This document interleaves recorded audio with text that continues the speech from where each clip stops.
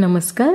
वैशालीज रेसिपीमध्ये आज आपण हॉटेलमध्ये इडली व डोस्यासाठी जशी चटणी बनवतात तशीच चटणी करणार आहोत. तर लगेच सुरुवात करूया. सर्वात आधी एका कढईमध्ये एक चमचा तेल घालायचं आहे. आणि इथे मी एक वाटी शेंगदाणे घेतलेत. तर ते घालायचेत आणि लो फ्लेमवर याला दोन ते तीन मिनिट आता भाजून घ्यायचं आहे. तर ही चटणी अगदी झटपट होते आणि चवीला खूप छान लागते. आता दोन ते तीन मिनिट झाली आहेत तर मी इथे अर्धी वाटी डाळवं घेतले. तर ते घालून याला एक मिनिटभर परतून घ्यायचं आहे. याऐवजी तुम्ही इथे फुटाणे पण वापरू शकता. इथे मी आता पाच ते सहा हिरव्या मिरच्या घेतल्या आहेत. तर त्या घालायच्या आहेत. चार ते पाच कढीपत्त्याची पानं आणि थोडीशी चिंच घेतली आहे. तर असे बारीक तुकडे करून घेतलेत. तर ती घालायची आहे. आणि याला आता फक्त मिक्स करायचं आहे. आणि मिक्स करून झालं की लगेच गॅस बंद करायचा आहे. आणि हे खाली काढून थंड करून घ्यायचं आहे. आता हे थंड झालेलं आहे. तर एका मिक्सरच्या भांड्यात घालूया.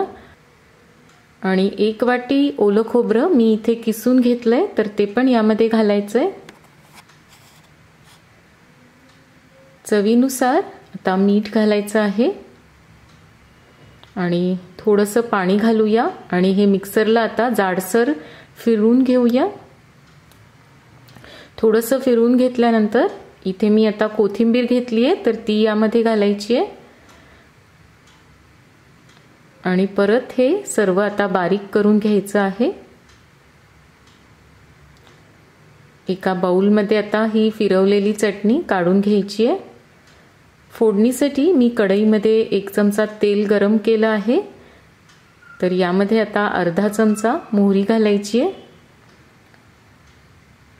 मोहरी थोडी तडतडली की गॅस बंद करायचा आहे आणि नंतर यामध्ये चार ते पाच कढीपत्त्याची पानं आणि तीन ते चार लाल मिरच्या घालायच्या आहेत.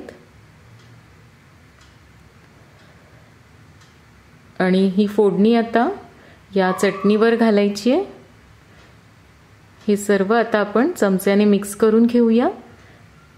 तर आपली चटणी तयार आहे. खूप छान दिसतीये आणि चवीला पण तेवढीच भारी लागते.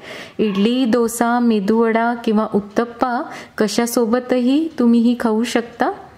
रेसिपी आवडली असेल तर व्हिडिओला जरूर लाईक आणि शेअर करा. चॅनलला जर सबस्क्राईब केलं नसेल तर ते पण अवश्य करा. पुन्हा भेटणार आहोत. तोपर्यंत मस्त खा आणि मस्त रहा.